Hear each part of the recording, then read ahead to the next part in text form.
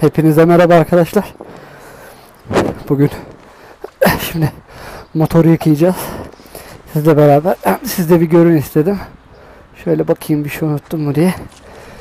Önce böyle tazikli olmayan bir suya ihtiyacımız var. Az akması bizim için tabi avantaj ama çok mu az ak? Neyse.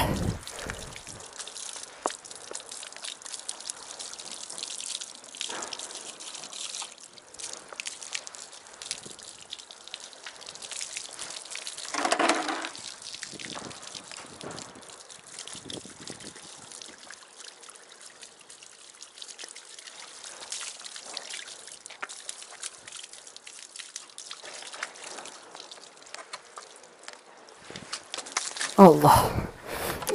Tamam daha iyi.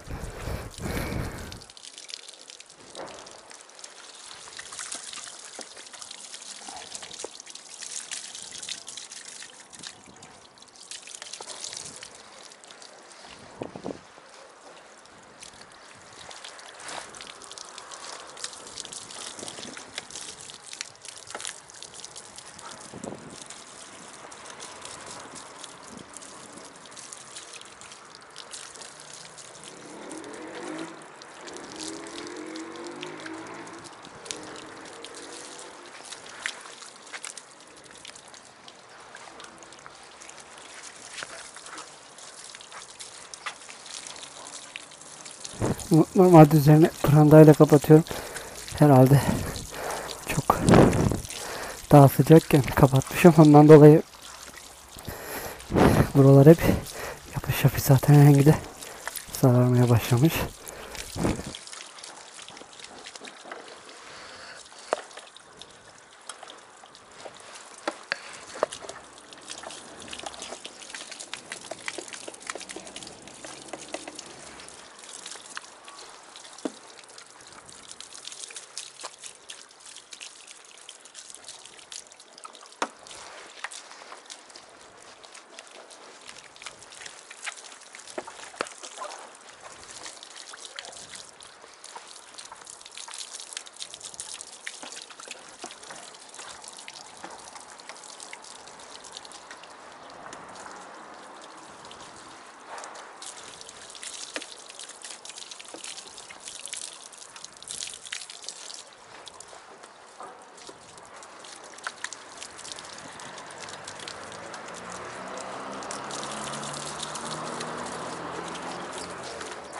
Şuraya suyumuzu dolduralım.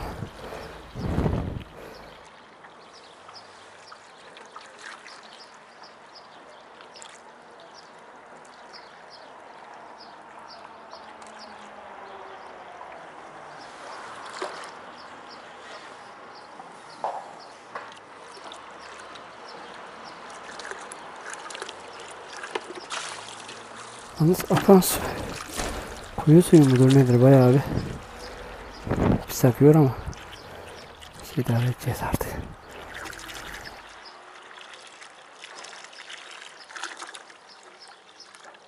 Bizim kovanın renginden de kaynaklanıyor olabilir.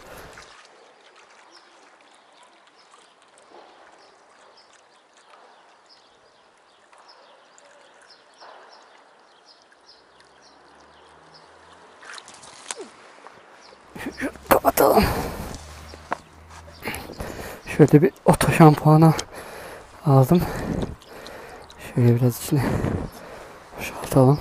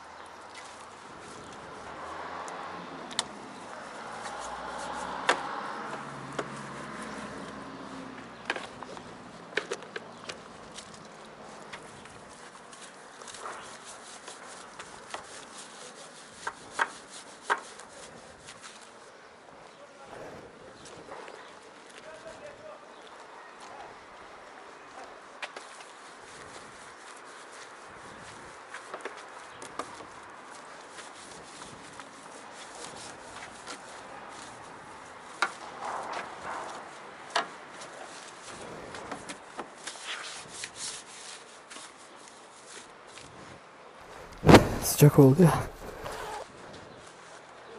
Önümüzü açalım.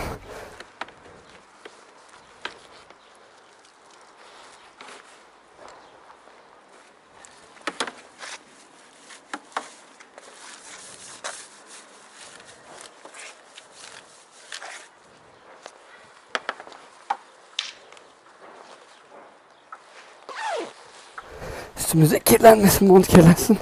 Montu giyeceğiz zaten.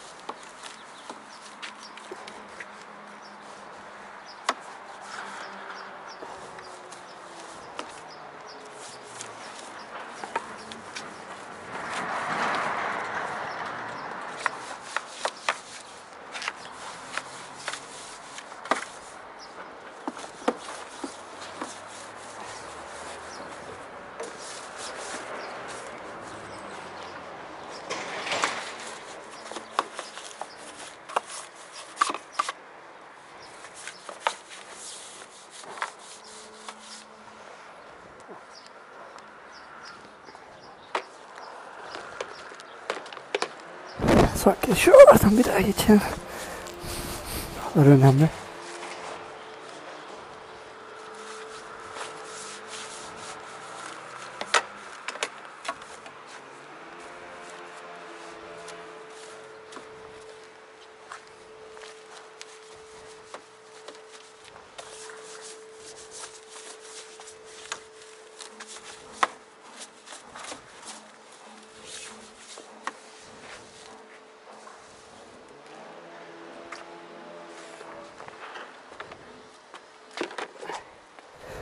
Açalım suyumuzu da artık işin durlama kısmına geçelim.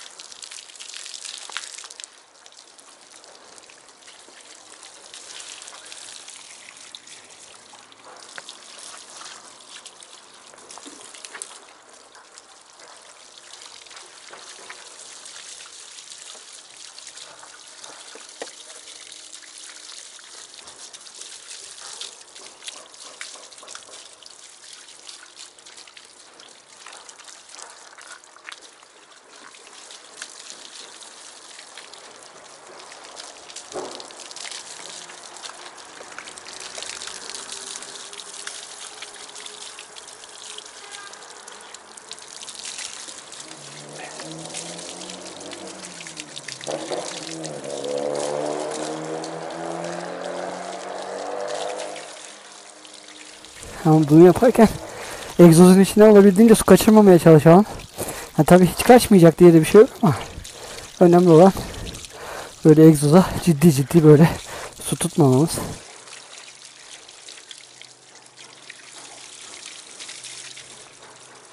Niye hiç kaçmayacakmış gibi bir şey yoktu. Çünkü yağmurlu havalarda sanki egzozun içerisine hiç su girmiyor mu? Gidiyor. Ama tabii bunu Hortumu oradan içeriye dayamak başka bir konu tabi.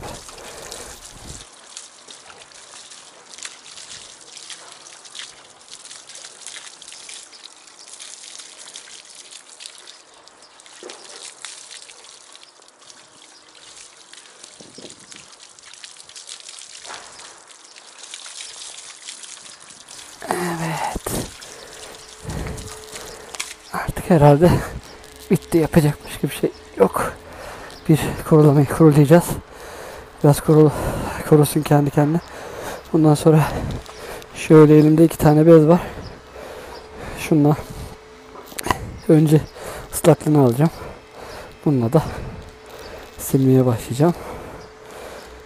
İnşallah ondan sonra parlayacak. Şimdi şununla işimiz bitti. Ondan sonra da zincir yağlama zamanı da geldi. Yıkadıktan sonra yağlamak hakikaten bayağı işe yarar. Ben bugün zincir temizlemedim ama herhalde bir dahaki sefere bir zincir temizleme spreyi alıp zincirle temizlemem gerekecek. Çünkü bin bakımında bu zincir temizlemesidir. Ondan sonra zincir yağlamasıdır. Bunları da yapıyorlar. Ben de ya yine 1500 kilometreye geldi. O yüzden 500 kilometrede bir yağlamak yeterli olur diye düşünüyorum.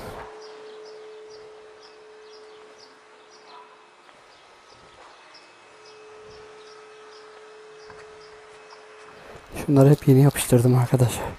Şu monster şu kaskın içinden çıkmıştı zaten. Kaskın kutu açılım videosu var. Orada çıkan stikerleri görürsünüz zaten. Onu da öyle çıkıp yapıştırmıştım. Neyse şimdi de hava da çok sıcak çok terledim. Şu ilk kurulamayı bir yapalım.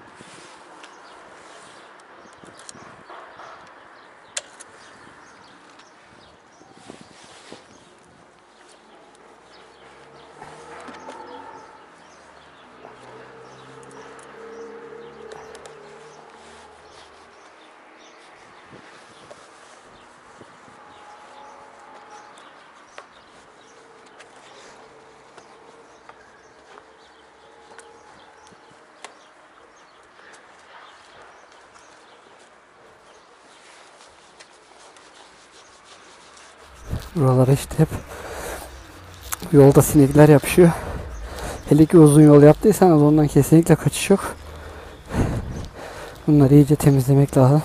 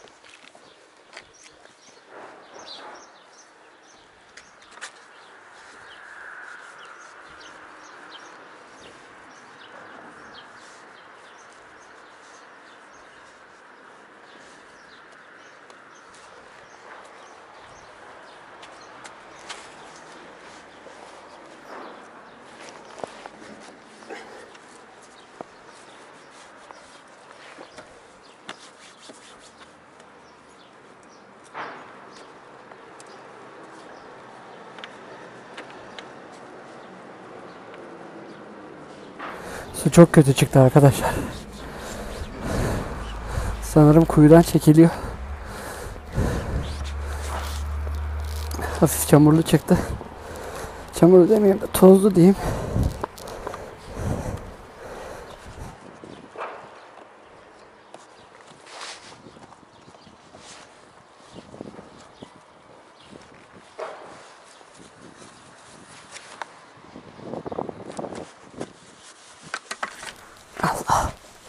Pardon.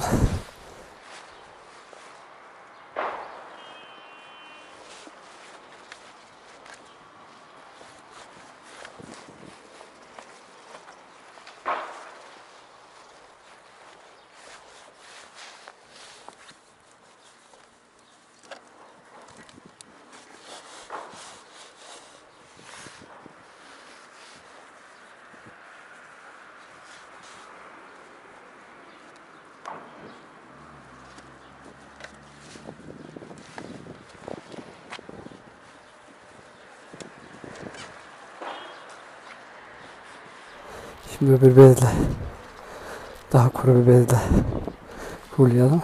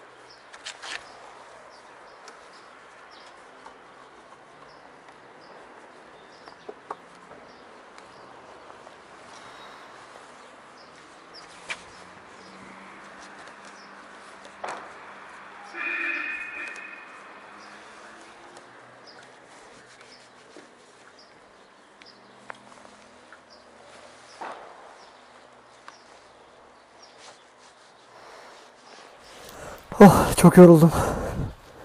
Hakikaten hem kayıt yapmak hem de bu güneşin altında daha doğrusu sıcağın altında çok güneş yok da üzerimizde mont kask hakikaten adamı çok yoruyor.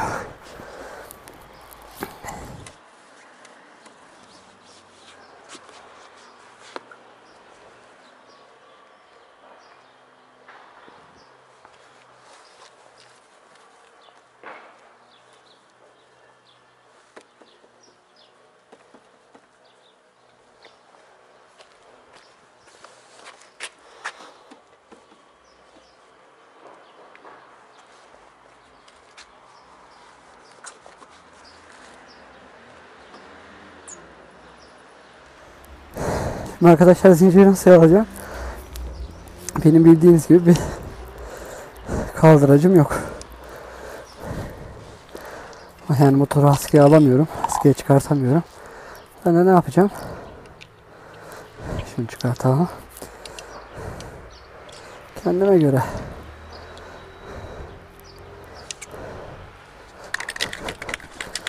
Yağlıyorum ben de zinciri. Nasıl yapıyorum? Şöyle başlıyorum.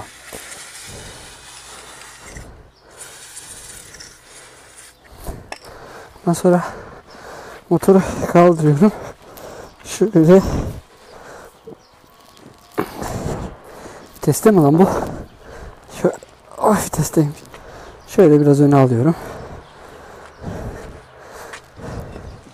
Yine aynı şekilde sağlıyorum.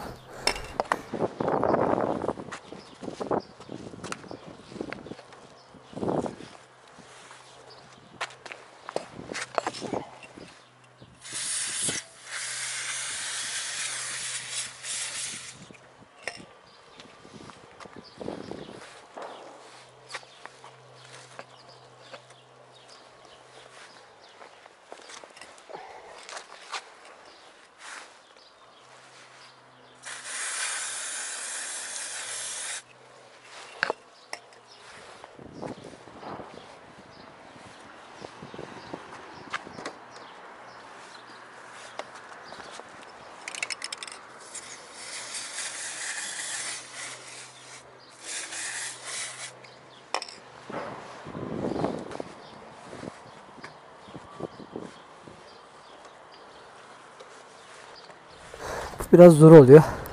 Aslında o yüzden ilk fırsatta bir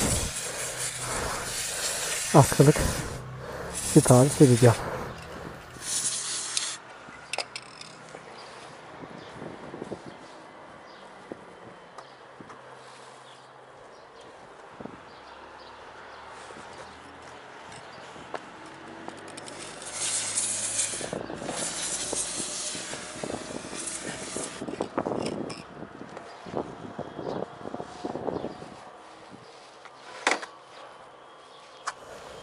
Tam tur olmuştur herhalde ama yine de garantiye alayım ki olmuş gibi görünüyor.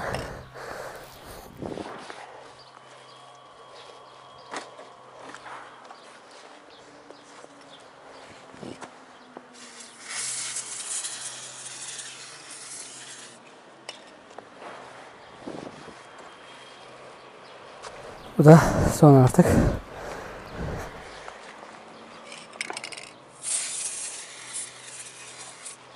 Kere oldu.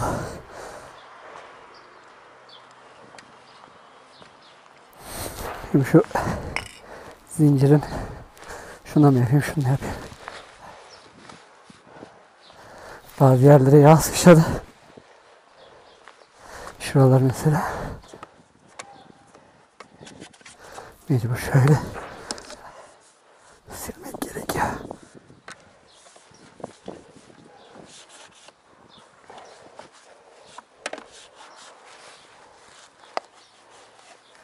Maşallah kaskım çarpıp çarpıp duruyor. Sağa sola. Bu kadar arkadaşlar. Güzelce temizledik yıkadık. Şimdi eve geçince de motosiklet montunu yıkamayı düşünüyorum. O da bayağı bir pislenmiş. Ne yazık ki beyazın dezavantajı. Beyaz rengin. Siz de olabildiğince siyah ekipman almaya özen gösterin derim. En azından kirlenmiyor. O da kirleniyor ama sonuç olarak kira az gösteriyor. Öyle söyleyelim ve bitirelim. Arkadaşlar beni izlediğiniz için teşekkür ederim. Kendinize iyi bakın ve kanala abone olmayı unutmayın. Şimdilik hoşçakalın.